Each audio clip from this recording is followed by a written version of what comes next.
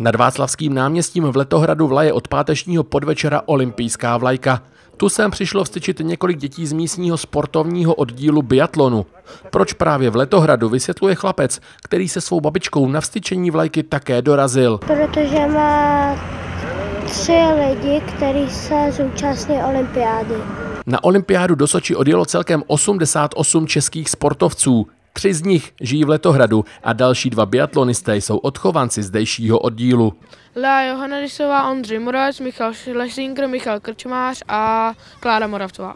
Jakému sportovnímu odvětví a kterým reprezentantům budou během olympiády tyto děti nejvíc fandit, je tak naprosto jasné. Pro českou televizi David Langer, Letohrad.